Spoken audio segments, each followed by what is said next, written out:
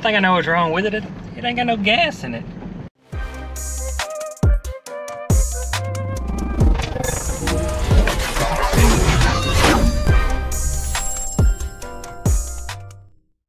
All right, day at my job. I'm only making this video because the truck's so nice, but uh, we've been going back and forth. This old customer, I think he had the problem, couldn't fix it, come bought a used motor from me, still couldn't fix the problem, and now it's got a crate motor and still hadn't fixed the problem. And it's so ironic because I just had issues with this, but uh, let me make the camera just check out the truck. I think it's got a fresh paint job. I'm sure he's gonna put different tires on there, but it's actually kind of dirty in the picture, you can't tell. Where you got that from? Uh, yeah. It's a pretty nice truck. Let's see. I think he's redid the insides too. That's not new carpet. That's pretty clean, but I believe those are redone. Man, this thing is nice. I don't know. If, I mean, you can't buy this stuff, can you? Looks new. Headliners, brand new. It's actually got the lights in there. Seat belts look new. Door panels look new. Pretty daggum clean truck. But uh he like I said, he's had trouble with it flooding. And I knew they put the motor in. Let me pop the like I said, we've been going back and forth on this truck, but he said he, it'll crank and run fine. It just floods when it's idling. And one of the, this is a Renix, of course. This vacuum line right here going into the throttle body, I have no idea why they put it there, but that's what runs the map sensor. So I thought that was the problem, but as soon as I heard it crank up, I was like, no way. I said, that Justin's Jeep was doing the exact same thing, and we uh, couldn't figure it out. Well, let me crank this truck first. They don't have no keys in it. I've never noticed. Come on, GoPro. It says four GM cars. We have to try to enhance that. Uh, I don't know if it's got the clutch safety switch. So you hear it, it's just like cranks up fine. Couldn't sputter. As soon as he cranked it up on the trailer, I was like, man. And he popped the hood. I seen this, you know. So, I don't know how. Let me go crank this other Jeep. Actually, let me pull it in the shop. I ain't even no reason to pull it in the shop. Won't take two seconds to fix. I hope. I know y'all have seen this Jeep before. It's just a junky Jeep I use in the shop, but Justin was struggling with his Jeep. And I was like, just steal a throttle body off this Jeep. I thought it was TPS. And you can check the diagnostic code somehow, but I don't have a thing. I'm just, you've been around enough of them, you can figure them out. But like this one,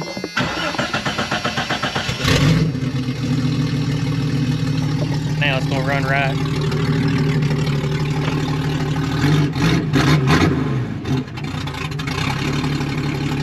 Of course it's gonna not gonna act up on camera, but it was idling the exact same as that Comanche was. This and I know for a fact the throttle position sensor is bad. Cause like Justin's, you had to crank it on the floor and that's what uh that's how I figured out as a TPS. So let me change that and we'll see what it does. So I've never seen one. This is what they normally have. They have plug there and a plug there, same thing. This one's just like that. Still bolts up the same and works the same, but I don't know if maybe this one is for the motor computer. This for the uh, transmission computer. I really don't know, honestly, but I hope this fixes it, because if not, I don't know what it's gonna be. I honestly don't think it'd make a lick of difference, but I undid the battery. They say 30 seconds. I don't know. I've heard touching them together. I don't know, but we'll give it 30 seconds. All right, got it on there. Like I said, I hope like heck this fixes it because otherwise I don't really know as much as we went through back and forth. Oh man. Same thing. Uh,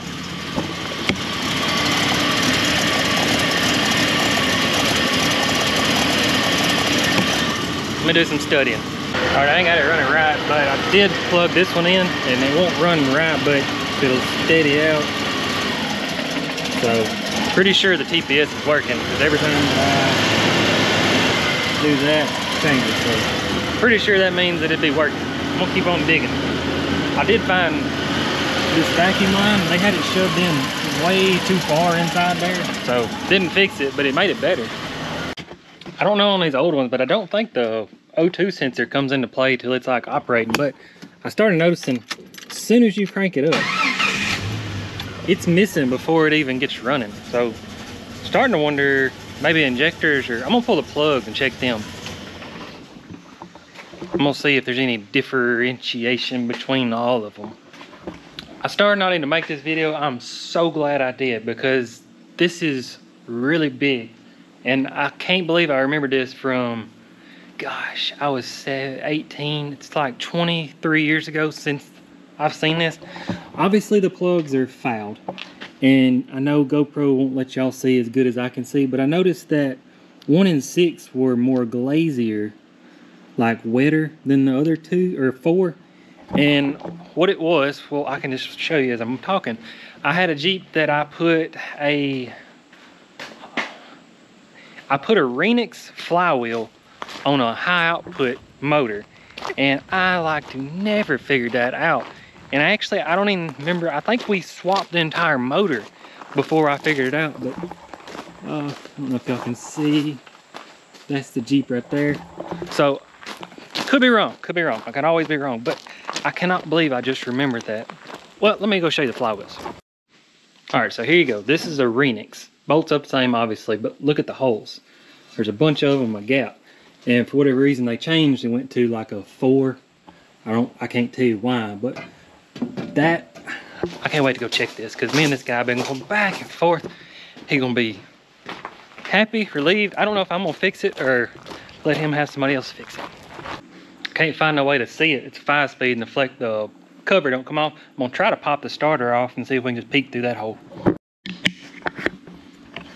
All right, this video is making me look like an idiot. Uh, I checked it. It appears to be the right one. The only, the O2 sensor looks like it's not been unbolted. I just don't think it cranks up and uses the O2 sensor immediately. But before, always start simple. I'm gonna check the compression and just see where we're at on it. Here we're working on a Renix one. Pretty sure it's the green one in the middle. You can just unplug it, green wire. Uh, and then right here.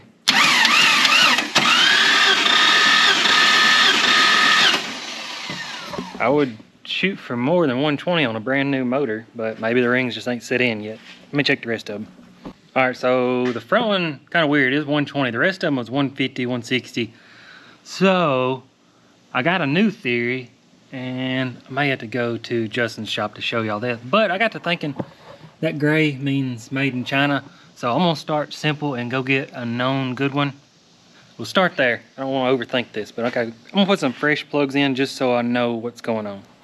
I was doing some more studying on the plugs, and like I said, I don't even think one in six is firing. That still goes back to uh, my theory about the fly, flywheel, whatever. But on, let me see. That's a big fire. I don't know if it's firing at the right wrong time, maybe? Let me try something else. I know this ain't a proper test, but in my opinion, it looks like it's firing early. Watch the spark and watch the pressure. Oh.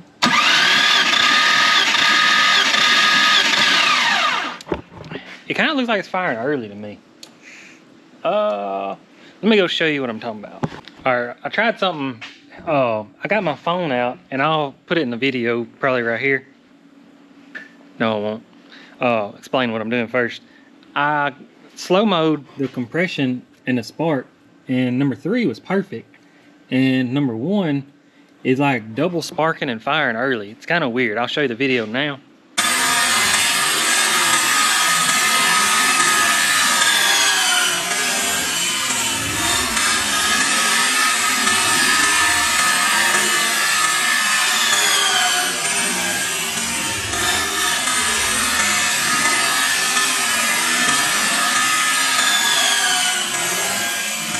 So I still goes back to the wrong flex plate. Let me make a phone call. All right, I was hoping it's gonna be like a 10 minute video, but pretty interesting. I don't know where to go from here. Uh, I think we're fixing to go ride dirt bikes, so I'm gonna go think about it the entire time I'm riding dirt bikes and probably tomorrow get back on it. All right, back on the truck here. and talk to the guy. The story is I was wrong. This is a different truck than the one he had. But truck was running, driving, running great, and lost oil pressure. Pretty sure he didn't. I he didn't say it, but I think he said it slung a rod. So had another core motor, had it fully rebuilt. I'm pretty sure all the accessories off this, the original motor are on there. But I asked him, I was like, "Did you change the clutch?" And he said it's a brand new clutch and pressure plate. So, or not pressure plate, like flywheel. What do you call that? Like, yeah, I guess flywheel. So, well, I got one to show you. So I'm just thinking maybe cheap, bad casting. You know, these are all synced up with the crankshaft, phased, whatever you want to call it. That's a balance hole, by the way. So I don't know. It sucks. It's either that or the.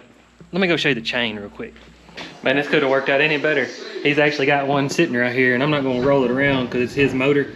But you obviously line this up with this one down here. It's got a mark, and it's see the green dots. It's 20 pins on this style of chain. And I'll find another one to show you, but there's a other one. I call that a transfer case chain. I don't know. I'm sure there's a proper name, but I don't know it. But you can see how it's shaped. And other one's shaped like a bicycle chain. Hold on. All right, so I can't sit them side by side. This is actually my 5.0 stroker build, waiting on some parts for it. But you can see that's like a bicycle chain there, and the links are a whole lot bigger. So instead of 20, these measure out 15 links. So I guess it actually, well, that'll change the story. So I actually have seen that on a few occasions is somebody count the wrong links per chain and who knows who built that motor. So that's a possibility. So I don't know which one I'm gonna check first. Figure it out. I went ahead and checked TDC just to make for sure, for sure. Uh, and it's right, it's on one, got it on top dead center.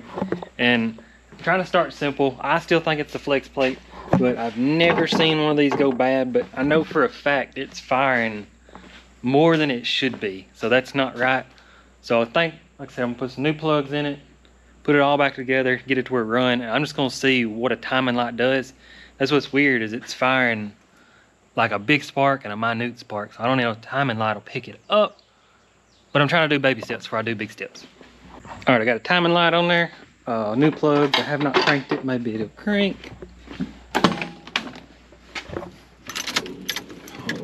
Always check speed. Runs the exact same.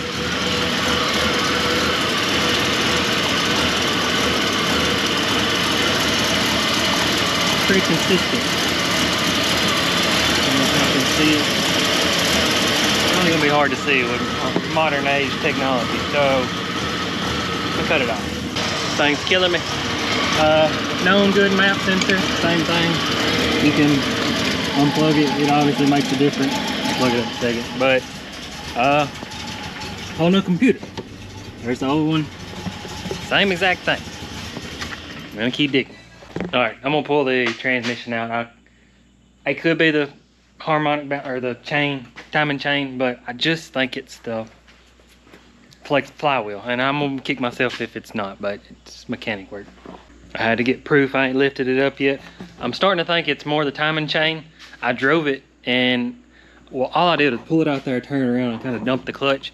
It don't seem to have any power. I haven't drove it. Uh, I didn't want to hurt the brand new motor, but it's more work to do that in my opinion.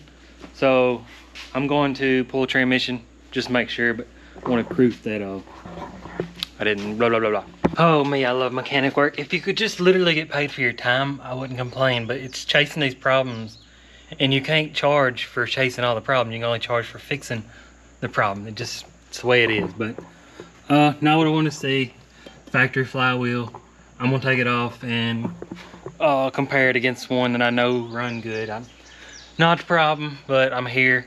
So basically a clutch job looking for why it's running funky. So I'll let you know when I get them off. Uh, complete waste of time. Exact same. This is mine, this is his. There's gap, all the little dots. Gap, and it goes around. Gap, same gap. So I thought that was like a new one and I'm sure it's made in China. And I've seen distributors where they make them in China and the little prongs, I don't know if you know on a 4.0, they're just not right and there's no way so you have to like cut them off so I thought it's out of phase guess next is pull the timing chain cover off. XJ's luckily got all this in the way. I think that bracket up there's got to come off for the fan. So, it's a job, but it is what it is. All right, morning time. That's what sucks. Justin's got a machine shop to turn that flywheel, but currently I'm just trying to get the truck running. I'm gonna put a transmission back in. All right, got everything bolted back up. I hope this works. I think I made an invention, about forgot those. I took a little uh, powder coating cap and put a pinhole. And I hope my theory is that as you'll just gradually push it, it'll let fluid out, but not suck air back in. I feel like that should be invented by now. I don't know. It may not. It may, I think it'll work. But oh, the one good thing about Cherokee is, especially this bumper, but you can put a puller and there's room in this frame, whatever they did right there. So that is one plus thing, but you gotta pull all this alternator crap off. yeah, I got that bolt. So, yep, let me get that apart. My theory is that he, it's still all in one piece, I want to say it, is uh, he's probably used to timing uh, the new motors that have the busted pistons and they have the 20 pin. Whereas this one, they don't go bad as often, so I bet he's thinking that it's the new timing chain. I don't know, could be wrong. I've been wrong the entire video, so who knows. This thing is about to drive me insane. Uh, it's got the 20 pin chain. It's like the timing chain chain. Uh, looks good. Everything. So, I went and got a crank sensor. I guess I got to put it all back together. I may check TDC and uh, distributors, make sure nothing freakishly out. I don't know, it's getting frustrating. This is a day three. All right, all the top dead center stuff, that looks good. Uh, luckily it'll still run without all that mess on there, so maybe that'll help me out. But got to dreaming. I said, what if the old motor slung a rod and it's got something in the EGR valve messed up? So I think I'm gonna tackle that before crank sensor. I just don't think it's a crank sensor issue. It's just, man, this is frustrating. About to take day off before I go crazy. Oh, EGR valve, why is there water in it?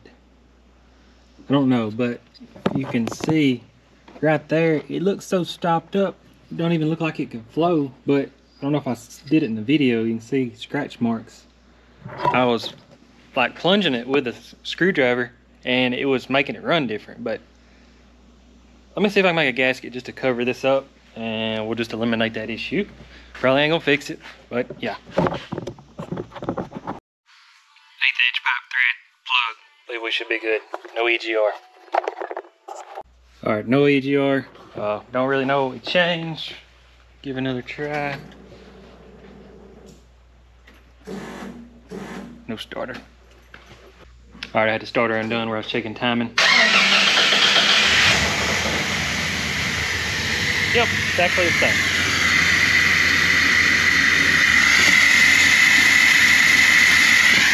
I did hear something. It made me wonder. The fuel pump sounds like it's struggling. I wonder if the regulator stopped up. And that's what sucks. They've been working on it, so I assume all the basics have been checked. I kind of skipped over the basics, but I'm gonna be, if that's all that's wrong with it. All right, of course it runs the same. Uh, y'all can't see, it's actually a little low, but shouldn't be causing what we're dealing with.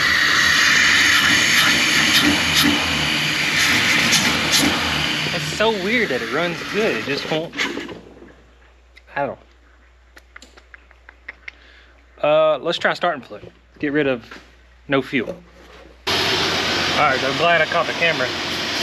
It's running on starting fluid. There's no fuel pressure. It's still not running smooth.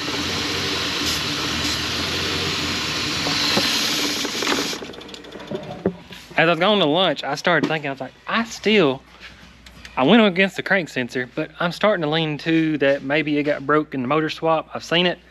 I don't know why I'm avoiding that. It just don't seem like a crank sensor issue. So I went and got one.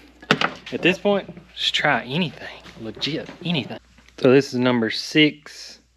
It's not as bad and this is number three or four. It's just simply charred over. That's just so weird because it's it's running on starting fluid, which should burn clean. Like I've been running, I know that's probably why the plug's black, but wow, this is getting so frustrating. Uh, use coil made no difference. Use crank sensor made no difference. Seemed like there's something else I tried. Air intake temperature sensor. I unplugged it and it made no difference. I I know if you cross the wires out or this goes out, it'll make it, it'll go to default, which is like either zero or negative 40, which would throw more fuel at it, but I got my fingers crossed. Going to get one. All right, there's that one. You can tell it's pretty charry. I went and got another one. Looks a little cleaner. Kind of got my hopes up. I went ahead and grabbed another one and two O2 sensors. Like I said, I know O2 sensors control it, but I just don't think they control it within a few seconds of its startup. I think it's closed or open loop, whatever they call it. So I'm gonna barely screw that in and I hope, hope it works. It acts like it's gonna try and then it gives you a, a laugh in the face. This is unbelievable. The O2 sensor and the block temperature sensor is the only thing left. And what I just told you, O2, but the block sensor, I've never seen one that's not broke. Every one of these Renix ones.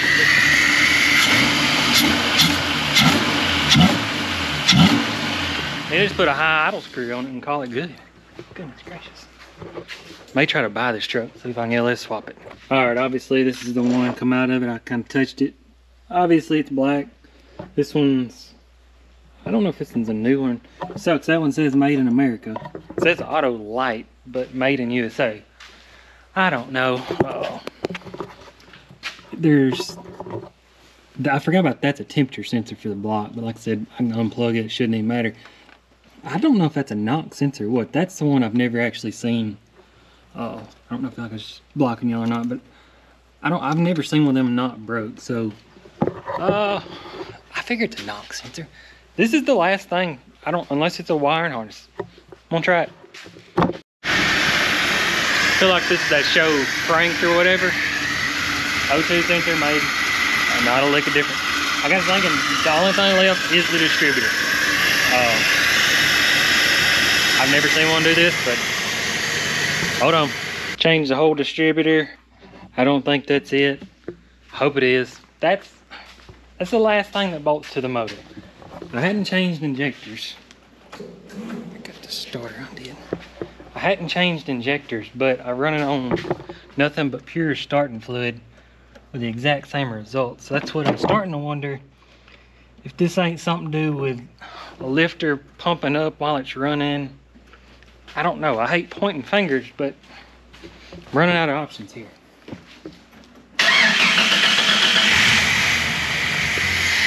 Every time it runs the exact same. It's almost like the lifters pump up when it's running, it's not making compression.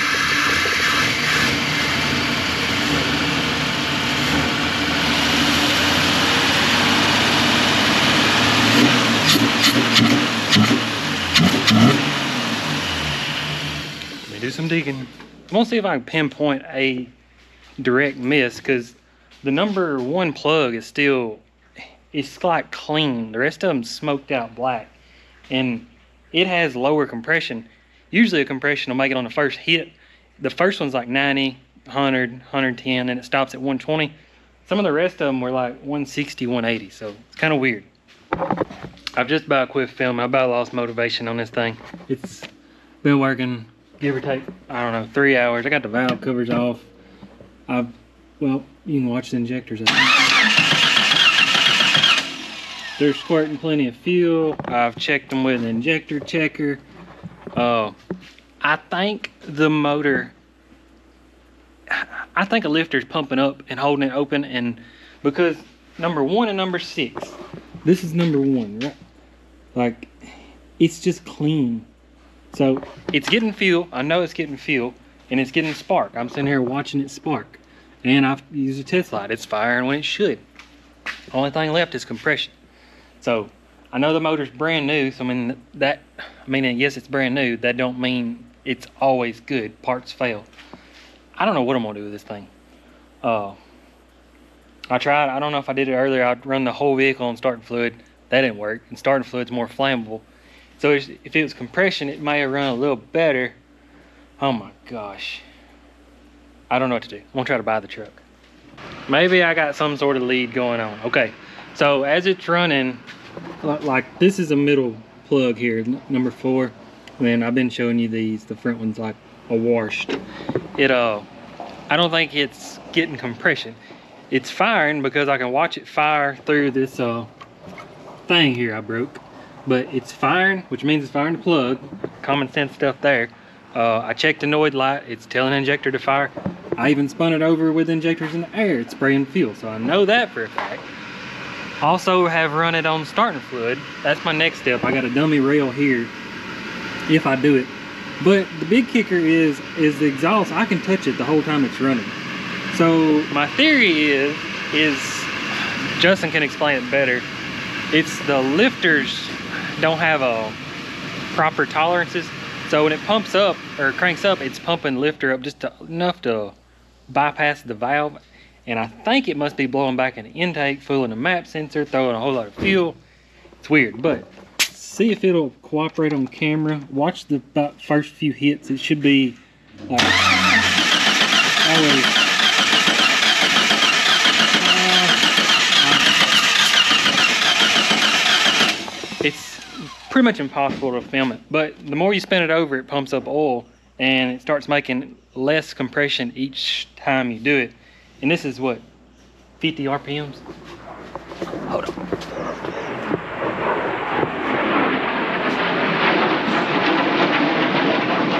pretty random for this video, but uh, all right, let me do some more digging. All right, so what I've done, I've took little washers and put under the rocker arms and it made more compression on the thing. So this one I just left loose in number six and I hope the plugs ain't fouled out so bad it won't run.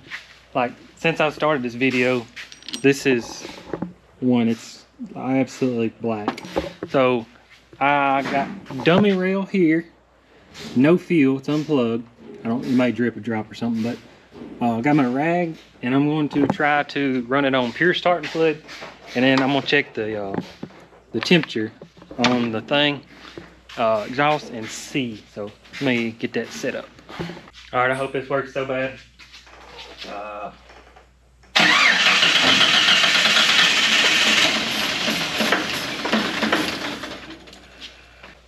All right, I'm gonna try one more time. Got the throttle blade cracked open a little bit.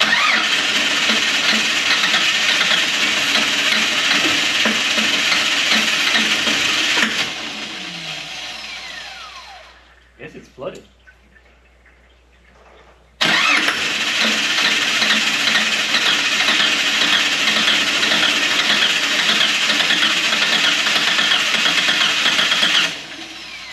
Oh, God dang it, I had the coil didn't get started fire. So I had the coil undone when I was doing injectors just to cancel out any form of fire. So see where we're at now.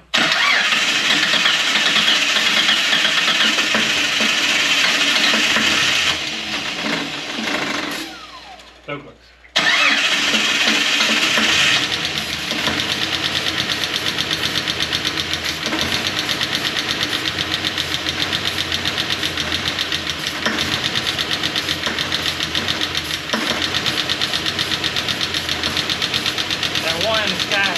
I know it's gonna take. Don't like starter fluid.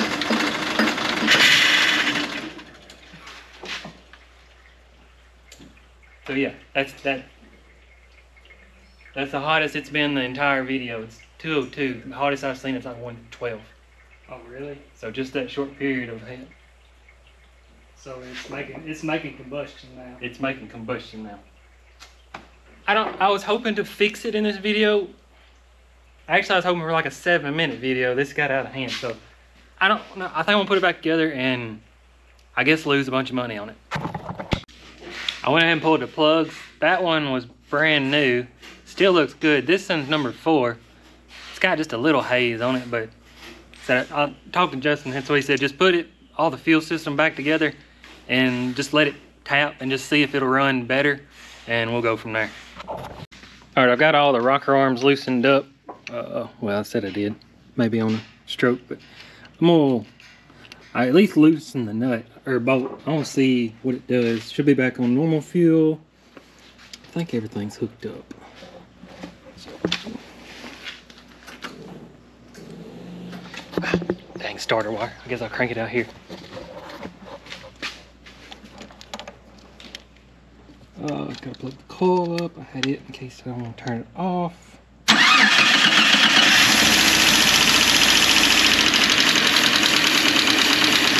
That.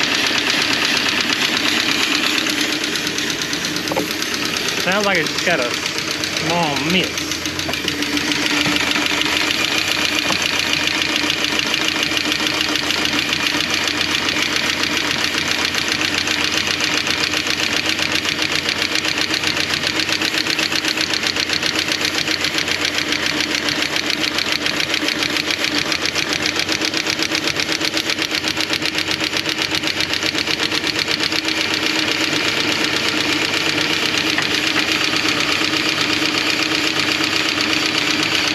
It is running on the front cylinder now.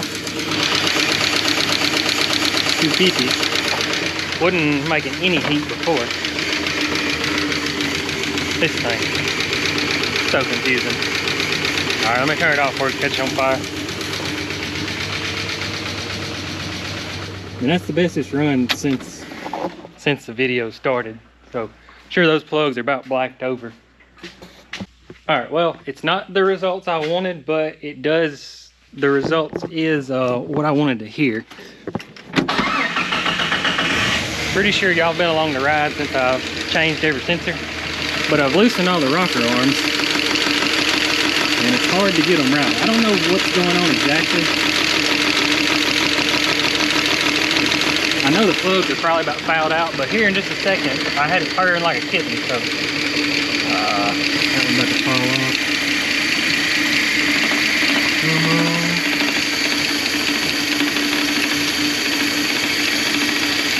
I'm pretty sure I said it, just said it, but I know the plug's got to be charred over. But like I said, just a second ago, it was purring.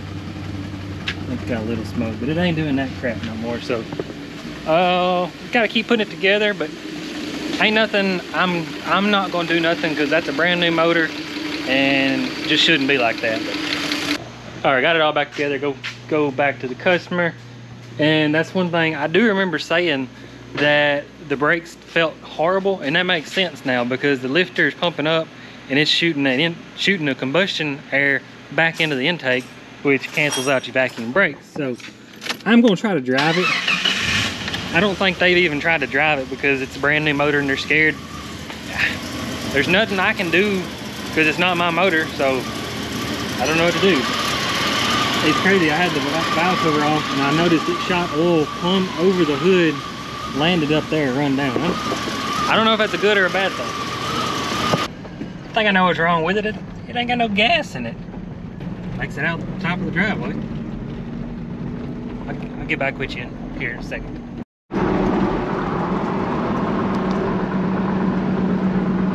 Runs and drives fine. It's just that slow speed. At low RPM, it has time for the gas, the cylinder gas to get past the valve.